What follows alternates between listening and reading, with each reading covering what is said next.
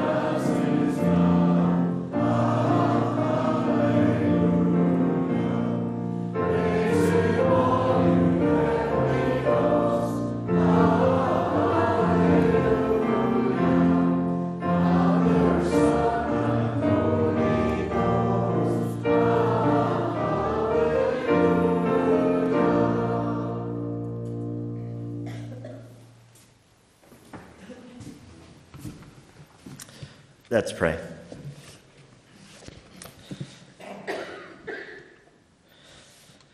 Lord, we thank you that we've been able to come together this last number of nights to consider and to reflect just on those uh, uh events around your death 2,000 years ago.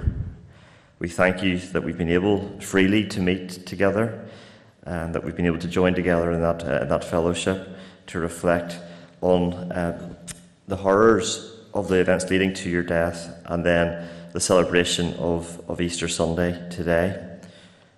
We thank you for, for your sacrifice. We thank you for your love. We thank you for we thank you for the grace, your grace, and how you've come down from heaven uh, to, to be with us here. Uh, and and you've, you, have you have given everything to us. We thank you for it. And we pray that as we reflect on that sacrifice, that love, and that grace, that we ourselves would display those attributes in a way that all too often that we don't.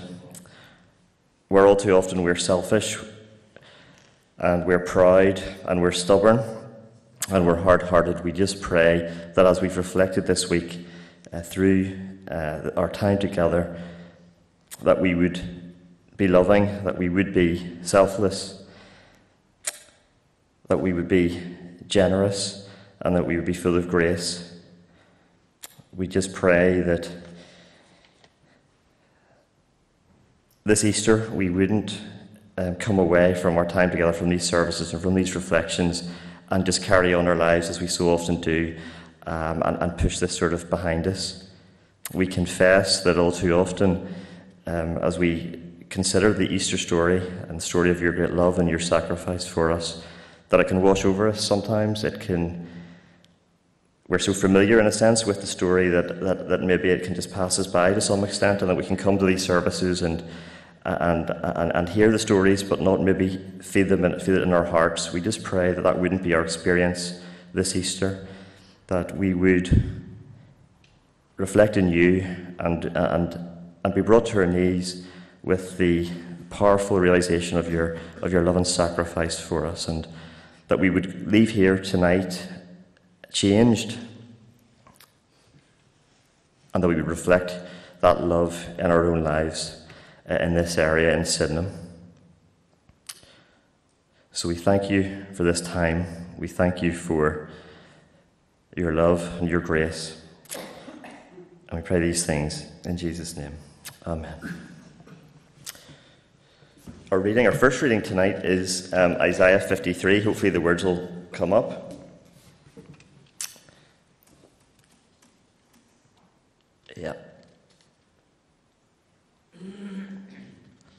Isaiah, Isaiah 53? You haven't got Isaiah 53? Well, don't worry. I have Isaiah 53 in front of me, so I'll, I'll, I'll simply read it. Um, so it's Isaiah 53. This is the word of God. Who has believed our message, and to whom has the arm of the Lord been, been revealed? He grew up before him like a tender shoot, and like a root out of dry ground. He had no beauty or majesty to attract us to him, nothing in his appearance that we should desire him. He was despised and rejected by men, a man of sorrows and familiar with suffering.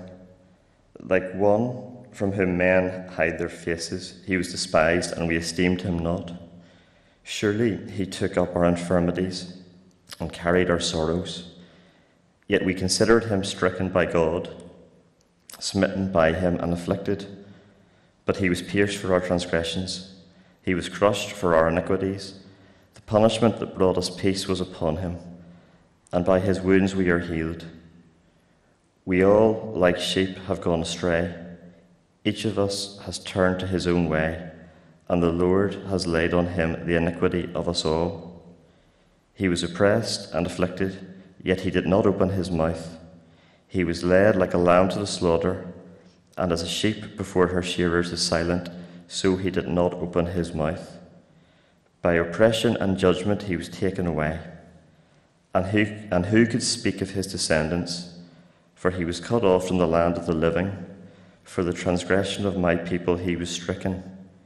He was assigned a grave with the wicked and with the rich in his death, though he had done no violence, nor was any deceit in his mouth. Yet it was the Lord's will to crush him and cause him to suffer.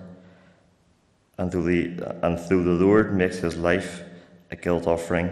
He will see his offspring and prolong his days, and the will of the Lord will prosper in his hand. After the suffering of his soul, he will see the light of life and be satisfied. By his knowledge, my righteous servant will justify many, and he will bear their iniquities. Therefore, I will give him a portion among the great, and he will divide the spoils with the strong, because he poured out his life unto death and was numbered with the transgressors, for he bore the sin of many and made intercession for the transgressors. Amen. I will stand again to sing in Christ alone.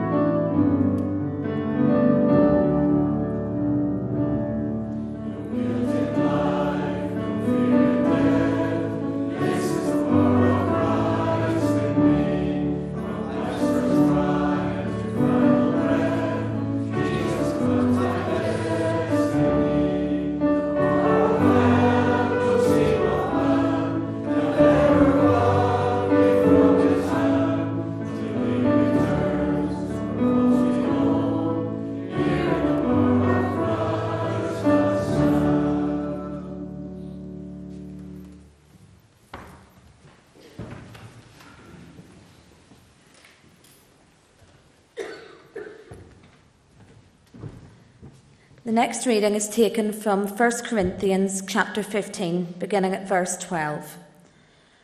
But if it is preached that Christ has been raised from the dead, how can some of you say that there is no resurrection of the dead? If there is no resurrection of the dead, then not even Christ has been raised.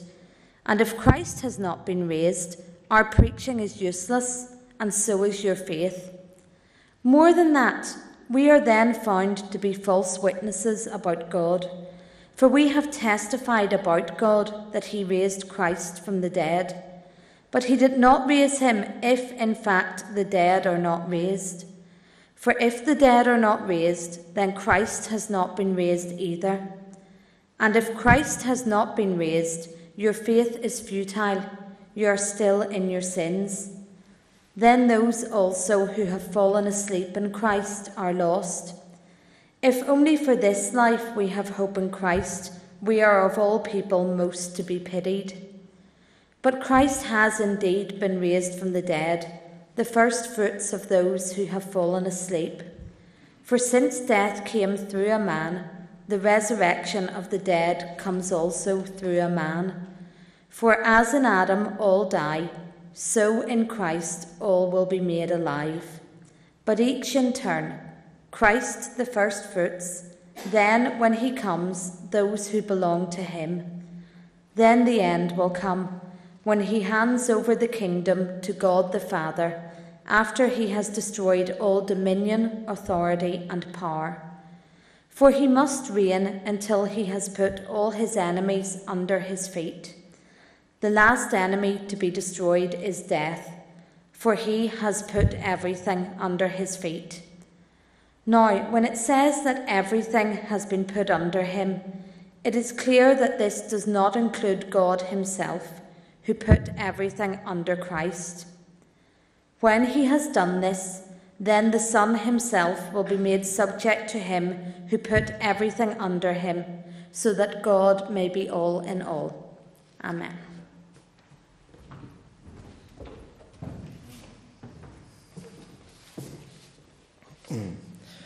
We'll, we'll uh, bow our heads again in prayer. Let's pray again.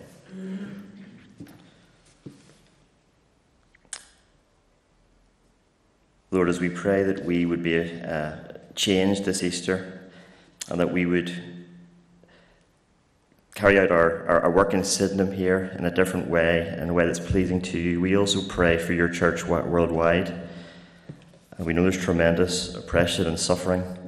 Um, parts of Southeast Asia in particular, in Africa, the Middle East.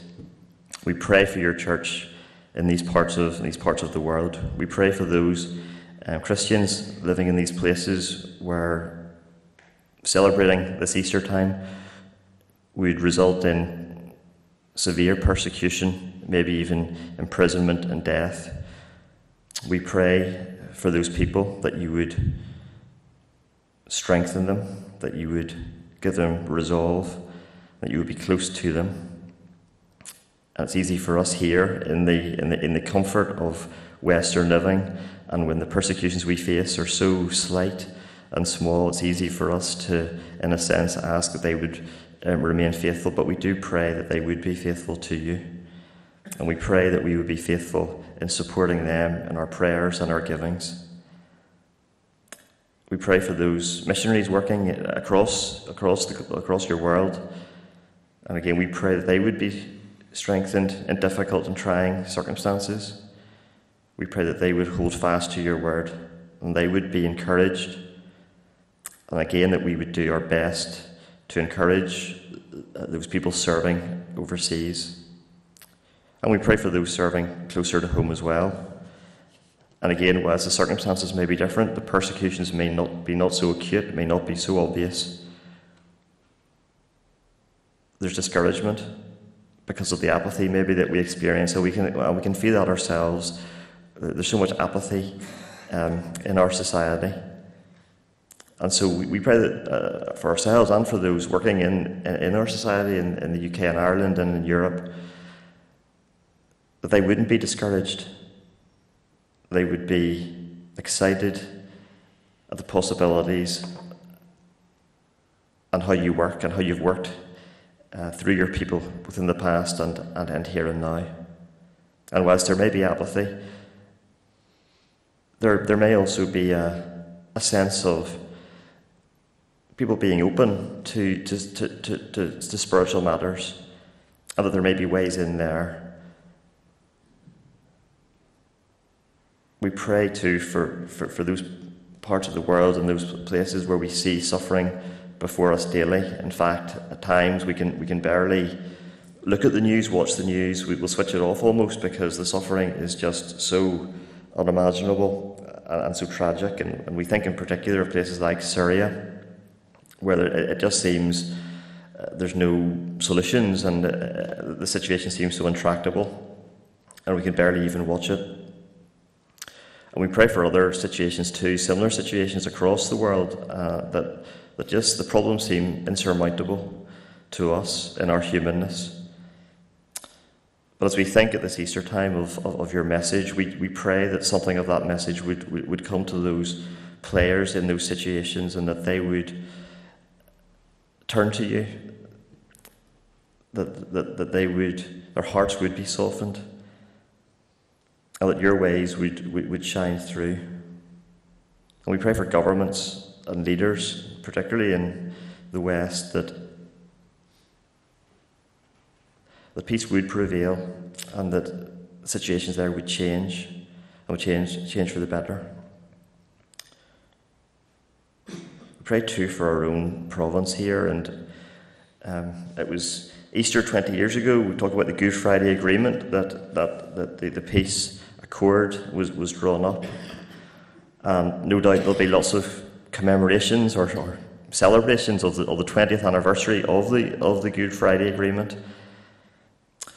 And as we look at it, we look at our own government and we look at our own communities.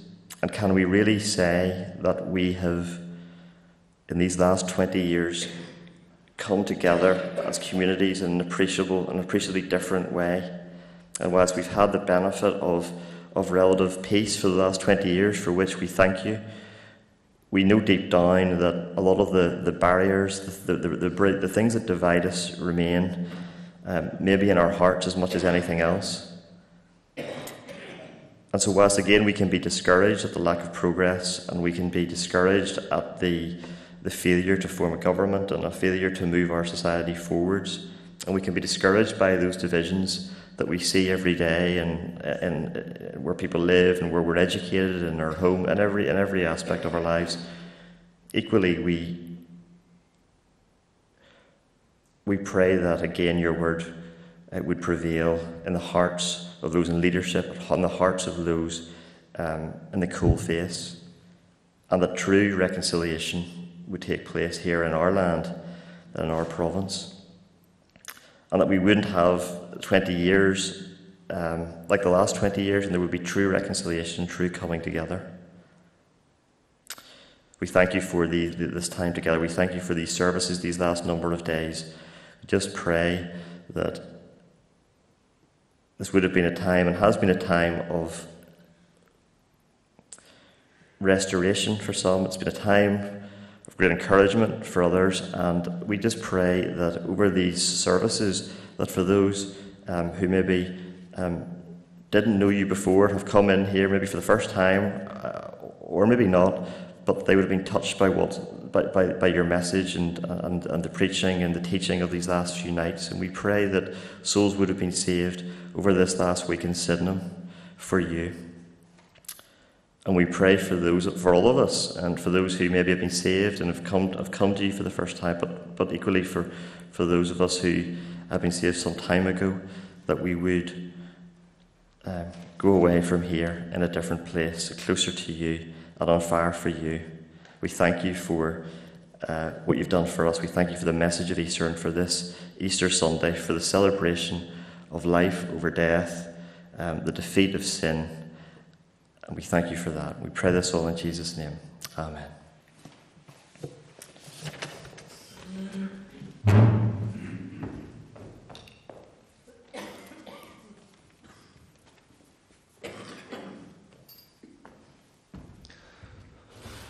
Thank you very much, Graham, for your welcome. I'm delighted to be here this evening in Strand Presbyterian Church. Uh, you probably know that I'm a good friend of your minister, and he and I meet at a place on a Saturday afternoon to watch Dundela at the hen run. So I'm delighted to be here this evening and to share with you, see some of my friends from the Methodist Church at Sydenham and other friends who are familiar to me. You may have got a little handout as you've gone round, a little bookmark. You might want to bring that to hand this evening. It gives the outline of what I might want to say to you later. So good to be here and good to share with you. We're going to sing together the hymn, Jesus Christ, I think upon your sacrifice. Let's stand to sing.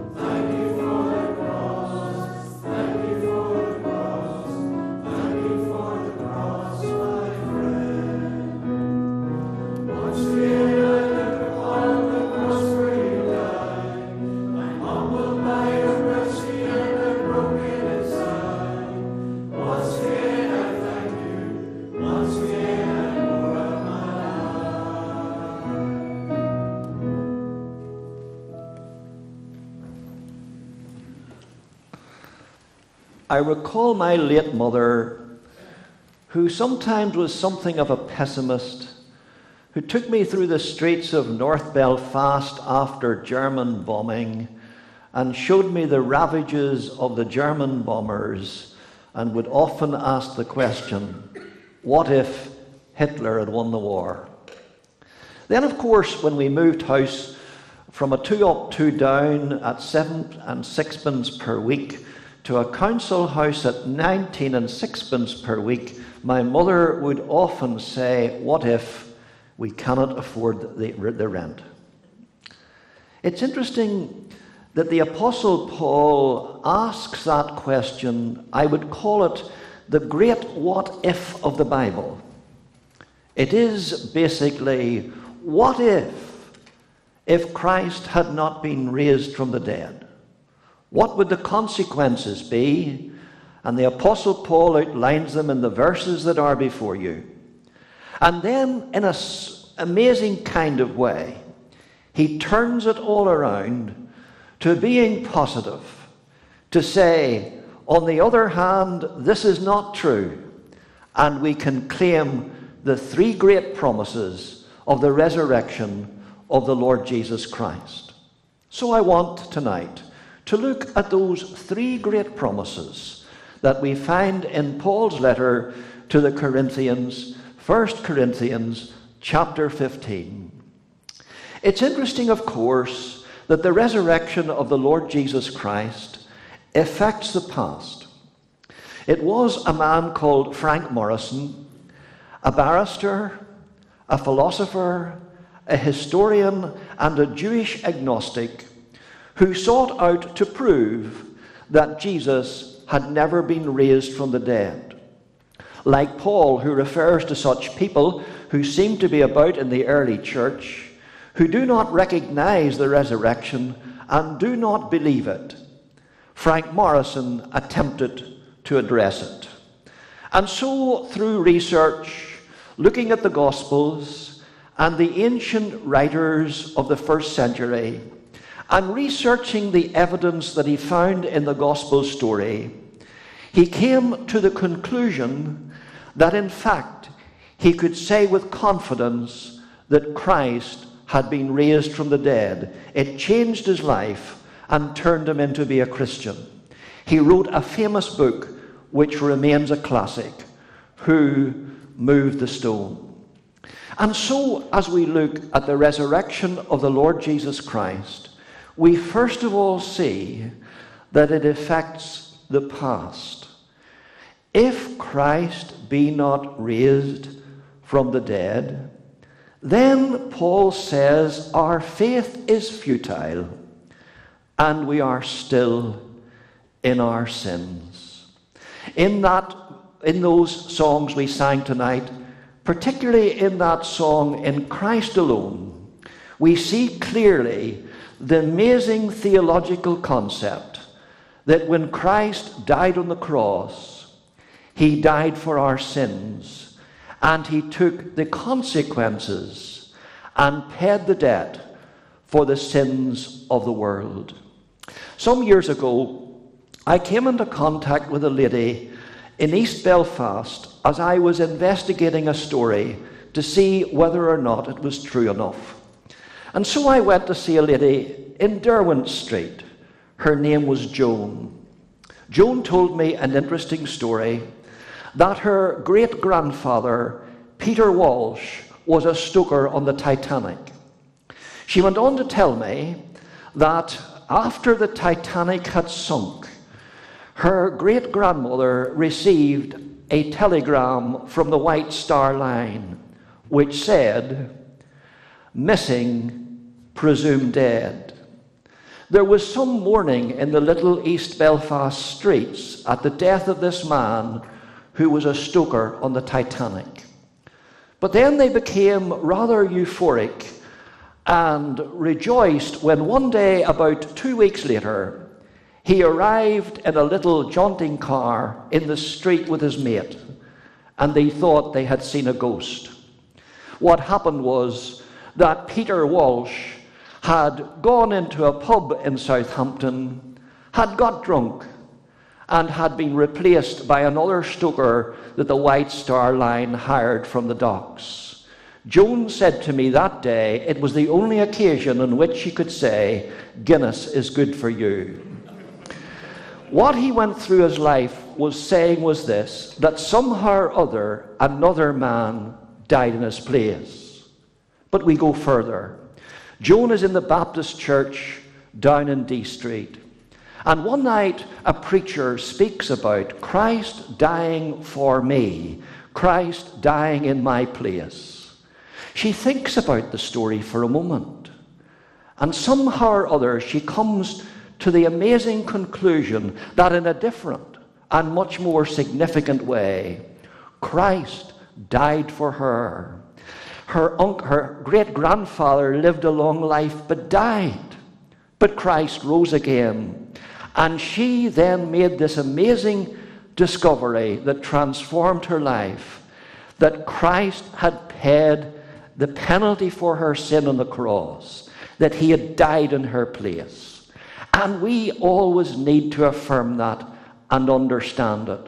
No matter how you view the cross, and there are many ways of viewing it, there are many theologians that write about various aspects of the atonement. Central to it all is the notion that Christ died for my sins. He took my place.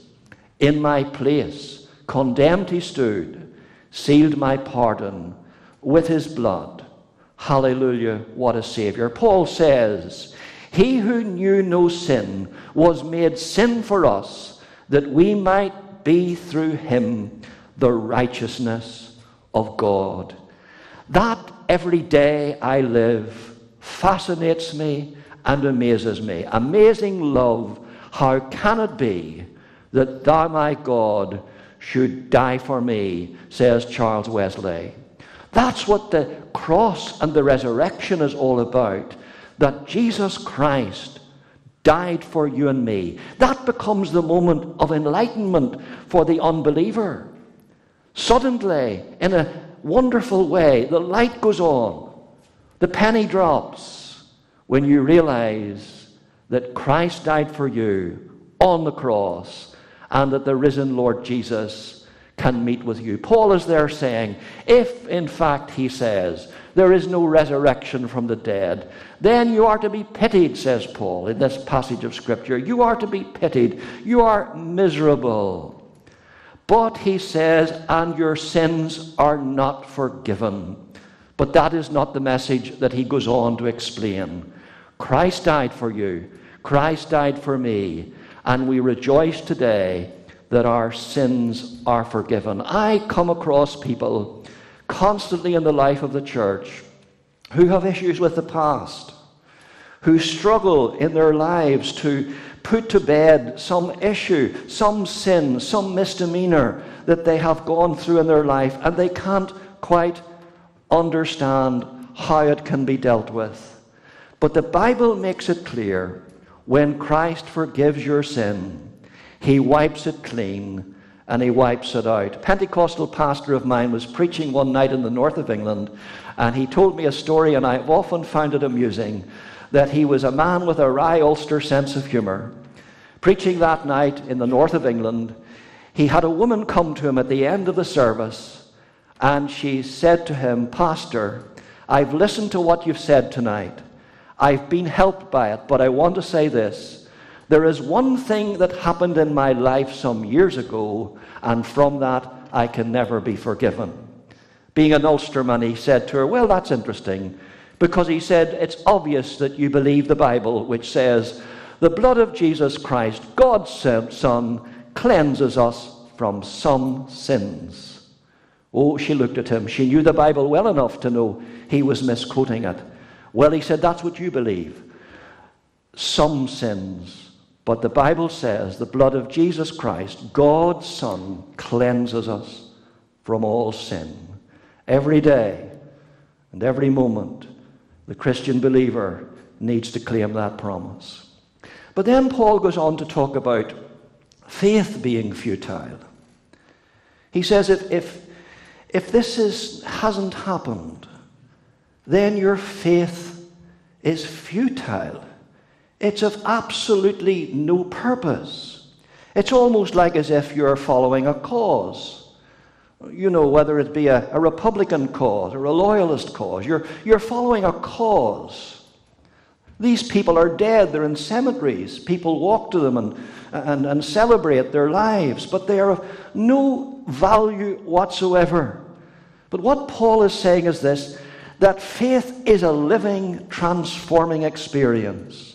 That is, that it is not only that we can say something happened in the past, but we're saying something vital is happening in the present. That is, that we are to experience a living relationship with the Lord Jesus Christ. About two months ago, I went to do a funeral in North Belfast for Beatrice Stewart, an 88 year old lady who was in the Tennent Street care home. Beatrice, I knew in a past life, was a wonderful Christian in the Methodist Church and a Sunday school teacher. She was, of course, in the frailty of life. And I knew something about her that might happen on the day of her funeral. And so when she died, I asked the relatives, Will Carol be at the funeral? Oh, said the relative to me, Carol is flying from London to be at the funeral. I was hoping that she'd be there. I know Carol quite well. I met her some years ago. And so when she arrived at the funeral, there were 10 people in the funeral church. Uh, I said to Carol, Would you like to say a word at this funeral about your Auntie Beatrice? And then she stood up. What a moment. She said, I was on the streets of Belfast. I was homeless. I was a druggie. And everything that you can name, I did it. And I was completely in a mess. She said, One day I thought, there is only one Christian in my family that I know. It is my Auntie Beatrice. She went to Caledon Street on the Shankill to see her Auntie Beatrice. She said to Auntie Beatrice, Could you give me a Bible? And so Auntie Beatrice gave her a Bible, but always apologized that the Bible she gave her, the zip didn't work. Well, Carol went with the Bible, and as she said, she read it. She read the gospel stories, and what happened? She said it in the funeral church. I met with Jesus. What's Carol doing today? Carol is a worker with the London City Mission. She works with the homeless on the streets of London and she witnesses to the wonderful experience of the transforming grace of God. What had happened? The Word of God wasn't just something you'd read. The Word of God became the living Word that she had experienced, that Christ became the Word. Truly, as, as John says in the Gospel, the Word became flesh and dwelt among us and we beheld his glory. And what happened there was that Carol beheld the glory of the Lord Jesus Christ, and her life was transformed. That's what the gospel is about. Somehow or other, we can experience that. We have an experience of the living Christ. It is the fact that Christ is encountering us day by day. He walks with me and he talks with me. He is with me all the time. And we have found a friend, oh, such a friend, Jesus Christ, and we have encountered him. That is the gospel message. Faith is not futile. Faith is the most wonderful thing that we can ever experience. It is faith in the Lord Jesus Christ. And then, thirdly, the Apostle Paul speaks about the life to come. He speaks about that those who are fallen asleep are lost if there's no resurrection. We are to be pitied. He speaks about what would happen if Christ had not been raised from the dead. The truth of the matter is this that when Christ was raised from the dead, his risen body will be like what we will be in the life to come.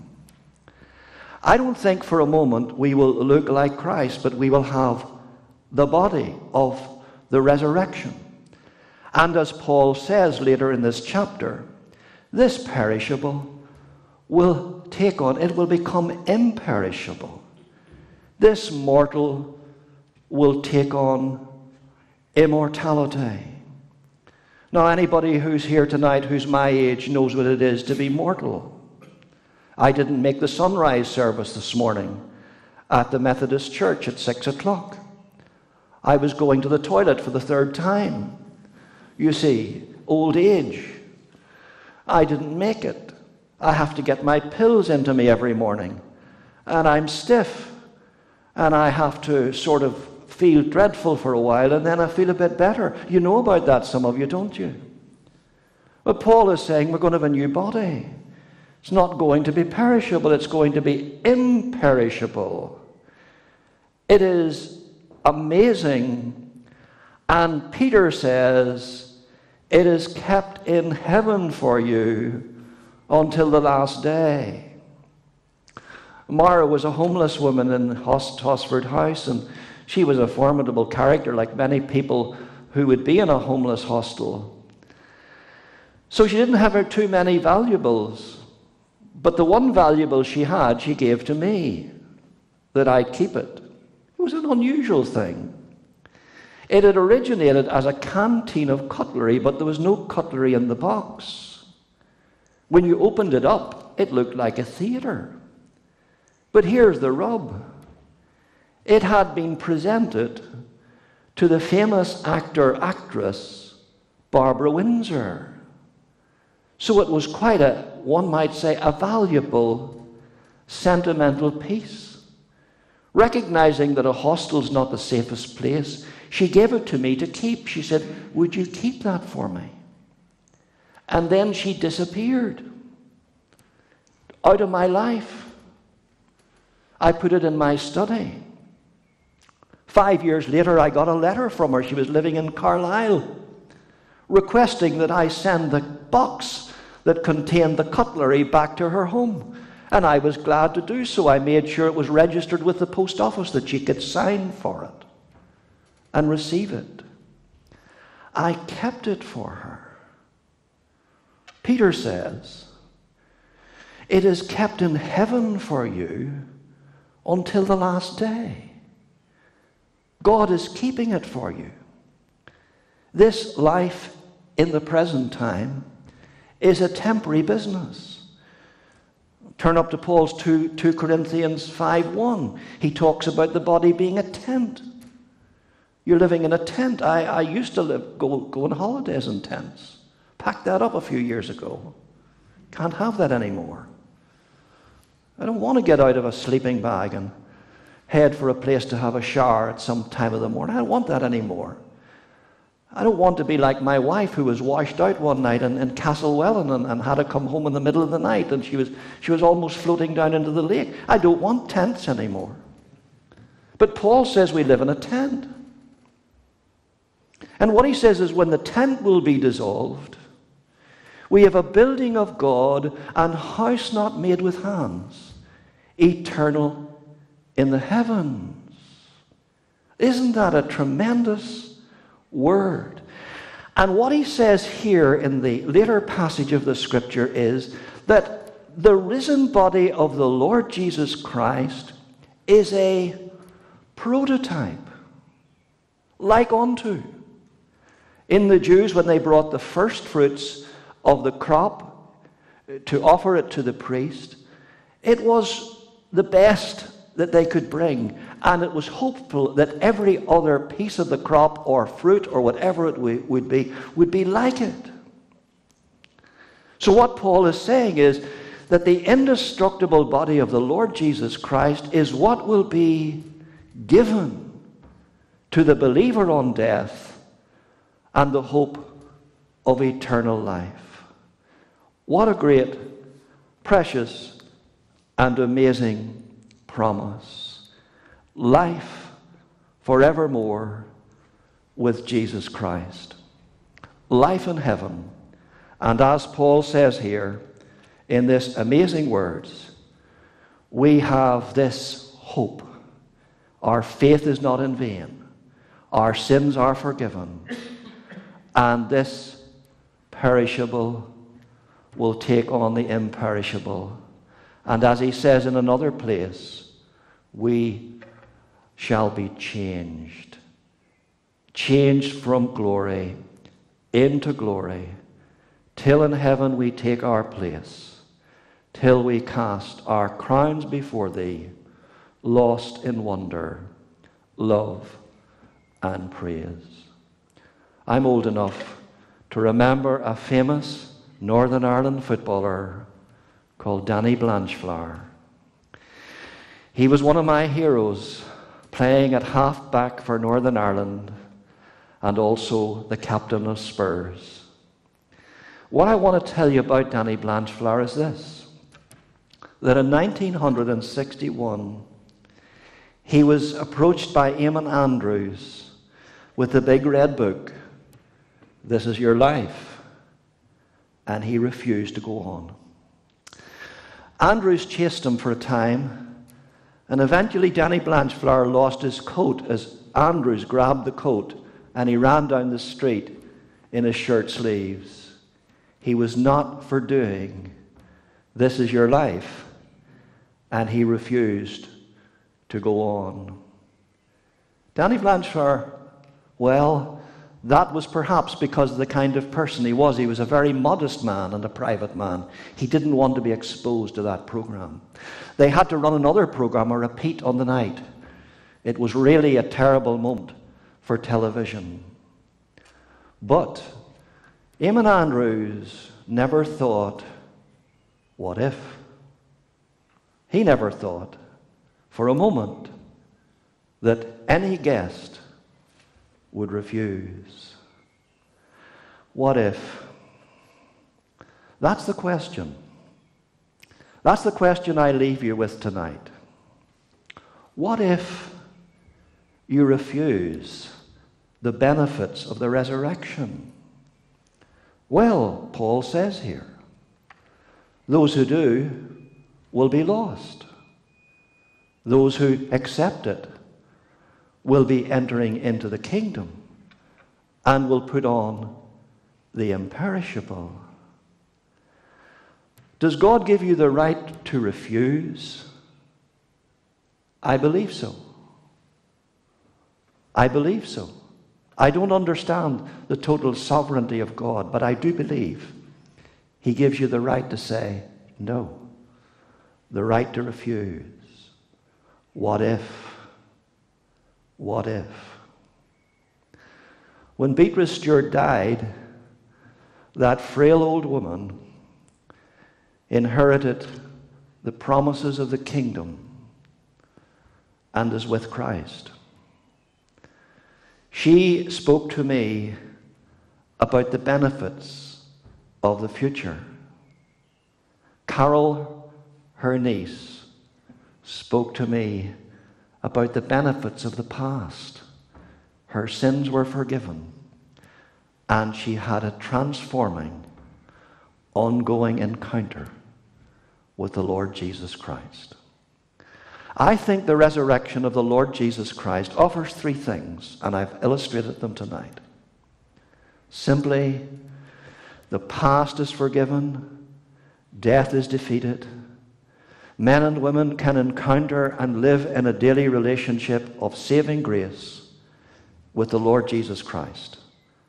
And we can have not just a hope, but the confident hope, the confident hope of eternal life, of a new life. And I remember Derek Bingham, my good friend, saying to me one day when he was in good health, and he said to me one day, he said, I always like the way sometimes they translate that verse as Paul writes to the Philippians to be with Christ, which is far better. But he says, I like it when they change it a little bit and it says, to be with Christ, which is better by far. To be with Christ, that is better by far. And he said to me that day, the one thing I know about it is this it's going to be much better. We give thanks to God for this day, for the Easter rising, the real one, the real one and the glorious, triumphant experience of the risen Lord Jesus and the hope of life forevermore. Let's pray. Lord, we thank you for your words to us, for those scriptures, for all that they mean, and for the hope that we have. Lord, we pray that we will have gained the benefits not to have a faith that's futile, not to have no hope of life eternal, and not to have experienced sins forgiven. Lord, we pray that all of these great and glorious things we'll have experienced tonight in Jesus' name. And it's in His name we pray. Amen. And now your offering for God's work in this place will be received.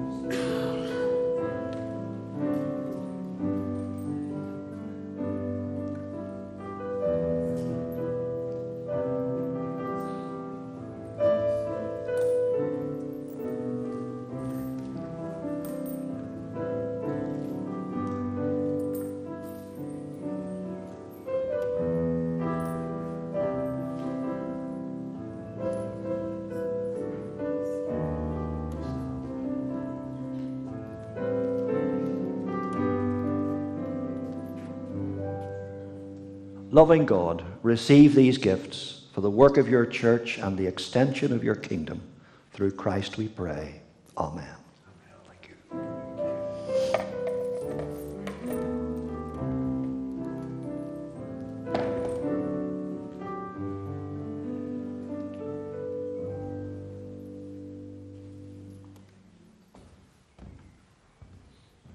Now we sing the hymn, I serve our risen Saviour, and we'll stand to sing this great hymn, Living He Loved Me. You know, I think of Brian there. And uh, one day we had a service from the mission, and I still see that song being sung at the end of the TV. Uh, we played it that day, Living He Loved Me, and Stevie was singing it in, in great thrust. So we're going to stand and sing that hymn together. I serve our risen Saviour.